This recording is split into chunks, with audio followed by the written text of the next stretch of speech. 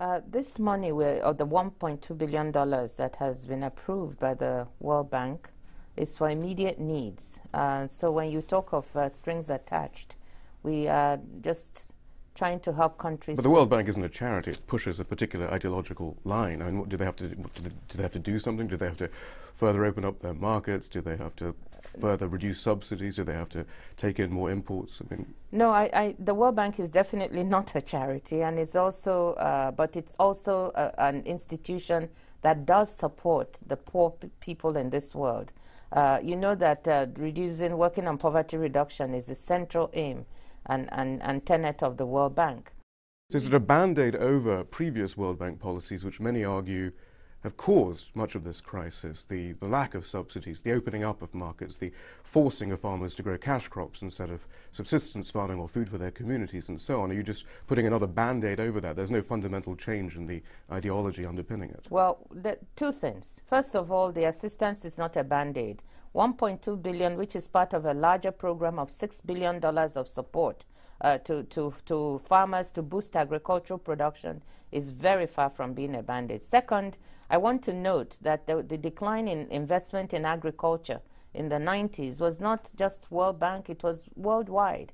Many agencies, uh, even countries, decreased uh, the investment in agriculture because they were focused on education and health and trying to get people healthy. They had to choose. They were made to choose between sort of subsidies and helping their farmers and perhaps uh, social spending, partly because they had to pay off their debts to the IMF and other international organizations. Is there no thinking within the World Bank or indeed your sister organizations that it's actually your policies that have led to this? I mean, Mexico used to be um, an exporter of corn. The Philippines used to be an exporter of rice. Africa was a net exporter of food in the 60s. But after decades of your policies, they're enormously food insecure. Isn't there some thinking about this? Well, let, let me say this. You know that uh, the World Bank has, has um, if you look at the record of the World Bank on agriculture, it is uh, true that, uh, like other agencies, we did decrease investment. However, uh, the World Bank has been very supportive of small farmers and, and generally of agriculture. It is true that we supported countries to implement policies that we felt would ensure macroeconomic stability in these countries, that would provide an environment for sectors like agriculture to but flourish. But you were wrong. I mean, you now you know, know you were wrong. But we are moving on. This is the future. We are focusing now on trying to make sure that this crisis is, is uh, resolved, that farmers are assisted But is there an acceptance food. that previous policies were wrong?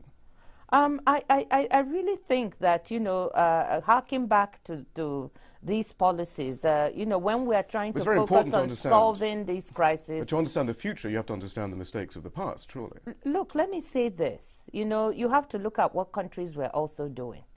I mean, the World Bank is not a monolithic organization that comes in to, to, to uh, make countries uh, do things. Countries have governments that also think through what kinds of policies do we want to implement. Yeah, but from and a very neoliberal agenda, from a particular ideological agenda, which many argue doesn't necessarily have the, the, uh, the best interests of local communities at heart. What it has at heart is a whole belief in the free market and globalization as being the answer to all the problems. It well, doesn't well, seem to be working. Well, let me say, let me say this. The World Bank's agenda is to help poor people all over the world. That's the agenda. The World Bank has really been focused on this. But through a and particular economic paradigm, which many say has failed. It's time now to go back to local initiatives, to sovereignty of food for local countries, putting decisions back into well, can communities' I hands. Can I say something? Since I'm somebody from a developing country and I was a former minister of finance, in my country, Nigeria, we crafted our own program. We put it together. We put our reforms together. It wasn't the World Bank or the IMF or anybody coming to tell us what to do. We put it together in the years 2003 to 2006, and we invited the bank and the fund to come and support us.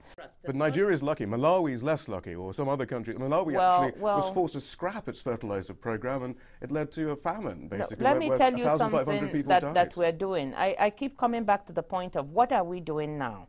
The essence of what we are doing now is we are boosting assistance to agriculture by $6 billion. We are fast tracking 1.2 billion. We have $200 million in grant funding to help the poorest countries like Haiti, like Liberia, uh, uh, uh like, like uh, Djibouti, you know, to be able to have food and to have farmers uh, plant. Finally, can I come back to my first question? Are there any strings attached to, to, this money? I don't know what you mean by strings. We don't have, we have, of course, the money has to be used prudently. The money has to go to those for whom we, it was meant, which means the poor people in the community. But economic policy doesn't have to be shaped No, we are talking of immediate needs right now. So, and, and all we want is that the fiduciary standards for which uh, you know, because uh, we, this money has to go to the right places for which we are known be maintained. And I think governments themselves are interested in doing that and making sure the money is well used.